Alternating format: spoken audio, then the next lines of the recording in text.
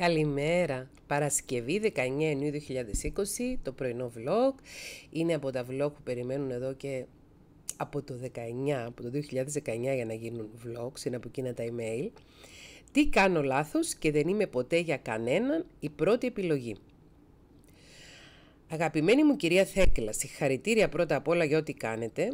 Μας δίνετε απέραντο κουράγιο και δύναμη μέσα από τα βίντεο σας και σας ευχαριστώ πολύ γι' αυτό. Εγώ ευχαριστώ, χαίρομαι αυτό που προσπαθώ να κάνω να επιτυγχάνει. Δεν θέλω να μακρηγορήσω.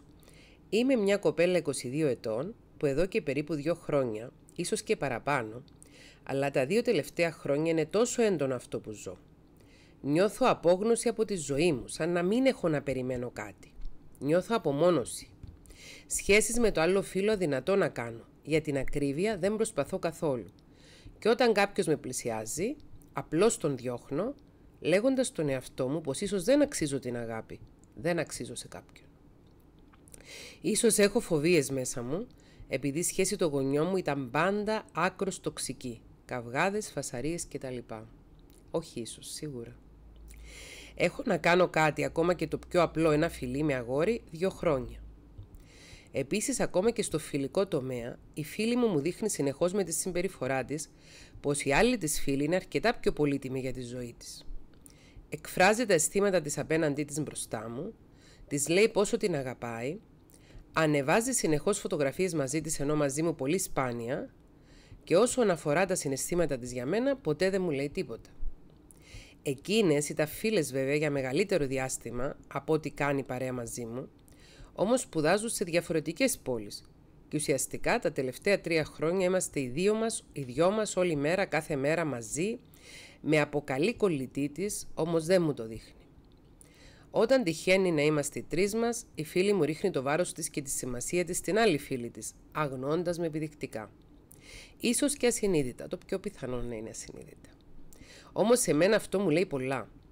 Μου λέει πως ίσως ποτέ δεν θα με θεωρήσει φίλη της πραγματική γιατί ίσως είμαι τόσο σάπια τελικά που δεν μου αξίζει απολύτως τίποτα. Τι λες, κορίτσι μου; Τι λες, κορίτσι μου, ότι είσαι σάπια; Καμία σχέση. Κανονίζουν μπροστά μου να βγουν και μετά γυρνάνε και με κοιτάνε λες και μου κάνουν τη χάρη ή σαν να θυμήθηκαν ξαφνικά ότι βρίσκομαι εκεί και μου λένε ψυχρά όμως και τυπικά ένα αν θες, έλα κι εσύ.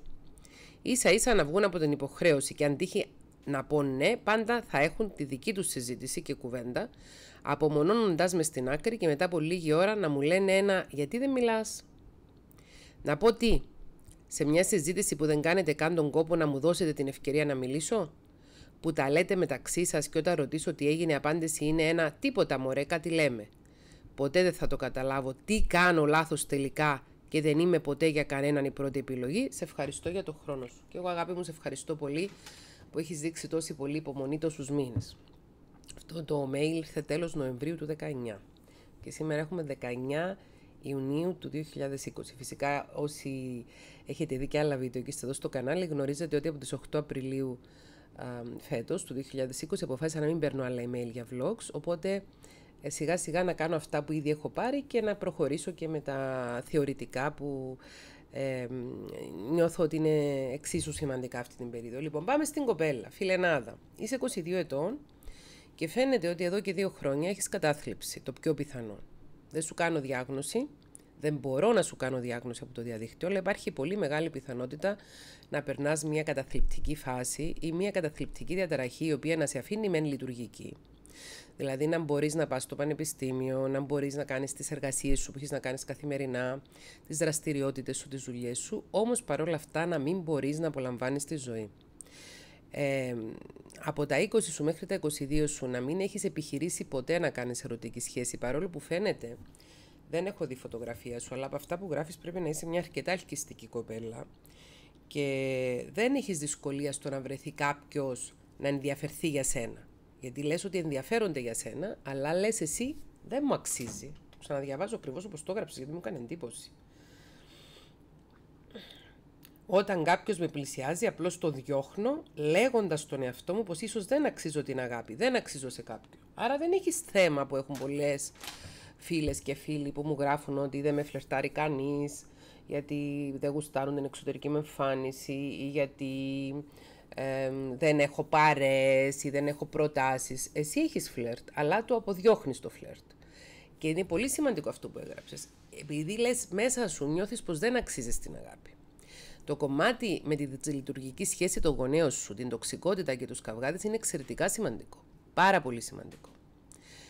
Ένα παιδί που μεγαλώνεις σε ένα πεδίο μάχης, που μέσα στο σπίτι στο οποίο μεγαλώνει το παράδειγμα ερωτικής αγάπης και φιλικής αγάπης γιατί οι γονείς και το ζευγάρι έχει δύο παραδείγματα να δώσεις στα παιδιά. Τρία. Τρία. Τρία σημαντικά παραδείγματα. Το πρώτο είναι η σχέση που έχει ο κάθε γονέας με τον εαυτό του.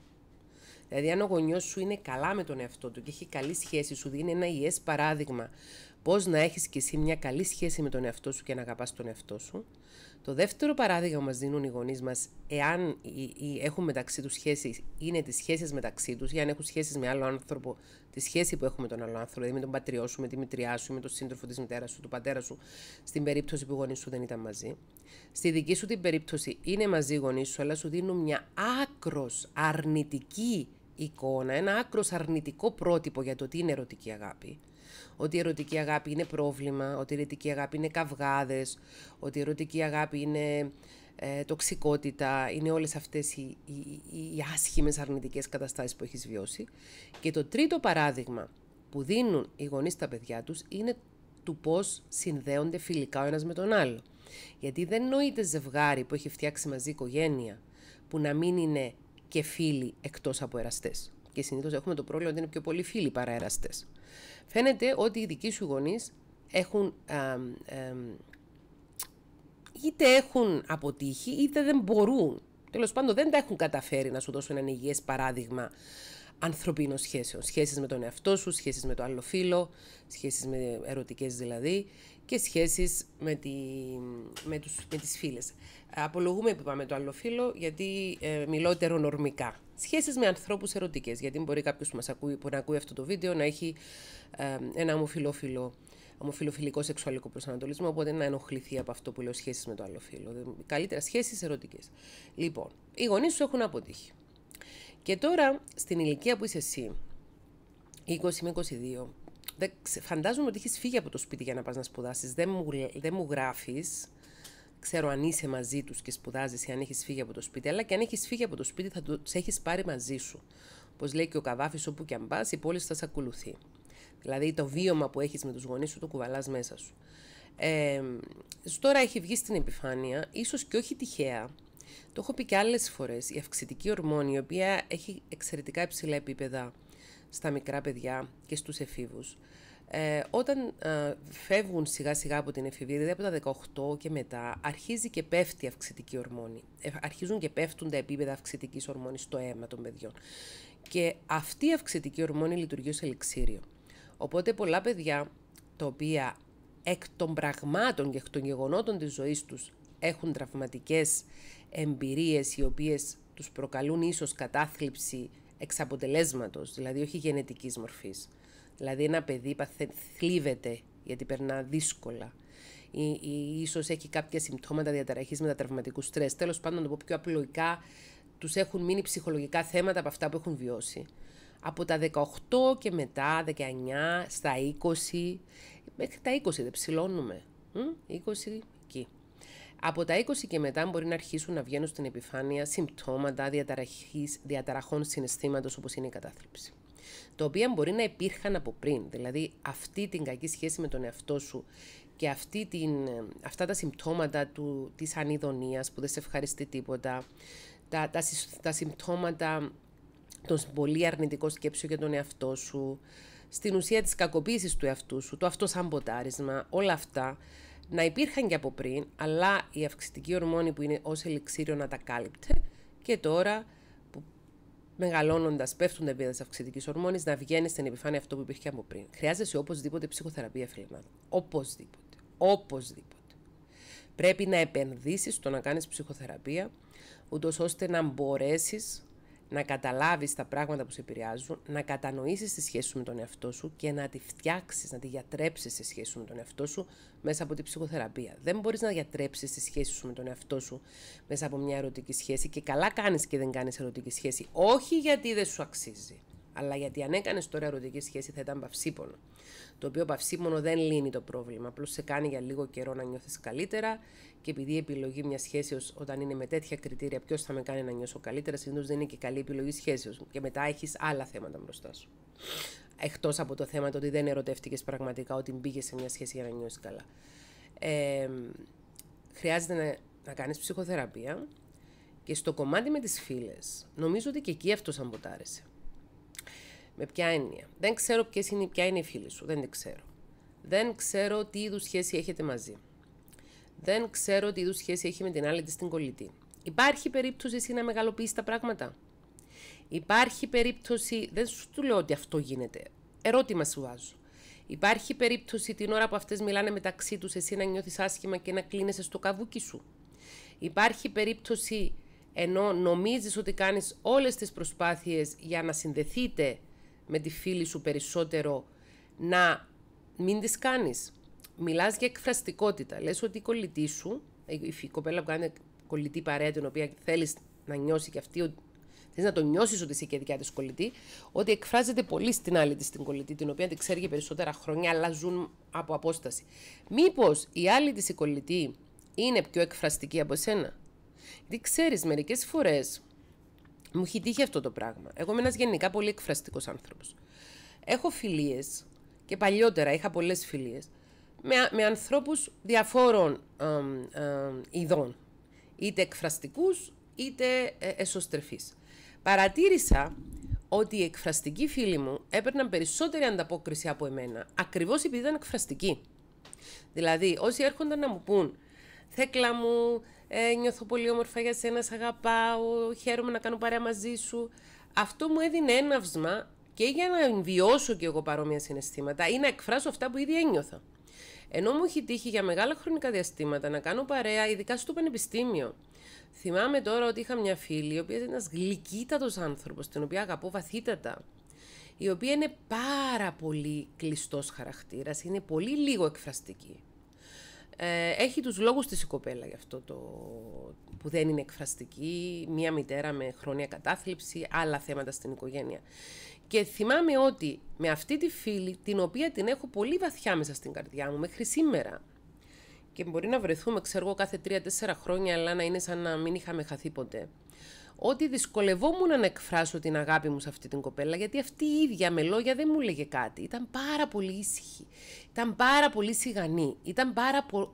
ήταν πολύ χαμηλών τόνο.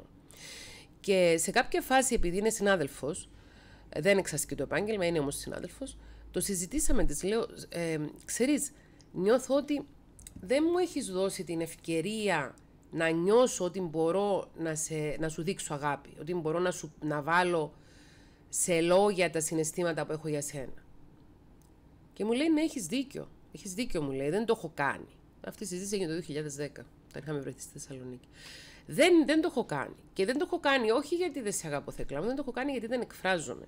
Και είναι μια πολύ αξιέπαινη κοπέλα η οποία έχει καταφέρει μέσα από πολύ προσωπική δουλειά και μέσα από διάφορους πνευματικούς δρόμους να έχει πολύ καλή σχέση με τον εαυτό της και έχει καταφέρει αυτή η κοπέλα. που μου τη θυμίζεις λίγο με αυτά που γράφεις. Έχει καταφέρει ε, στην ηλικία που είμαστε τώρα να έχει ε, επιτύχει στη ζωή της τις σχέσεις που ήθελε και τις σχέσεις που επιθυμούσε αλλά δεν είχε το θάρρος καν να εκφράσει την επιθυμία της δεν είναι απεσιόδοξα τα πράγματα για σένα, είναι αισιόδοξα, φτάνει η κόρη μου να καταλάβεις ότι ξεκινάει, το πιο πιθανό να ξεκινάει από σένα όλη αυτή η ιστορία, δεν σε κατηγορώ για κάτι. Σε καμία περίπτωση δεν σου λέω φταίς εσύ για αυτό που γίνονται τις φίλες σου. Ενώ ότι επειδή το γράφεις κιόλας, ότι με τα αγόρια, με το φλερτ, είσαι ε, όχι απλώς καχύποπτη, αλλά και αποτρεπτική, υπάρχει μεγάλη πιθανότητα αυτό να το κάνεις και στις φιλικές σχέσεις.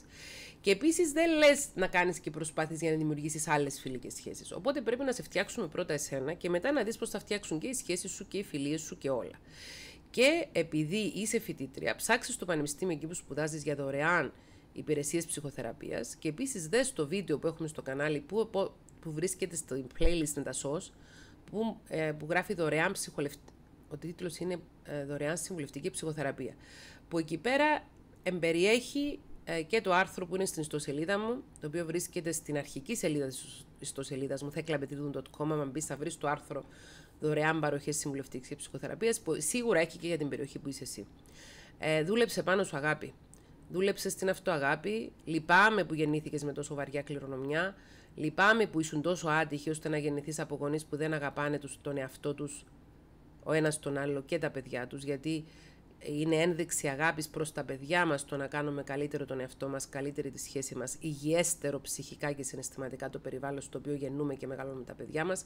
Είσαι άτυχη σε αυτό το πράγμα, όμως ξέρεις κάτι, για να στείλεις αυτή την επιστολή σημαίνει ότι έχεις μέσα σου τη βαθιά επιθυμία να πάρεις τη ζωή σου στα χέρια σου και να τη γυρίσεις ανάποδα και να γίνεις ο άνθρωπος που δεν σε βοήθησαν να γίνεις και μπορείς κουκλάρα μου και στο εύχομαι. Καλημέρα.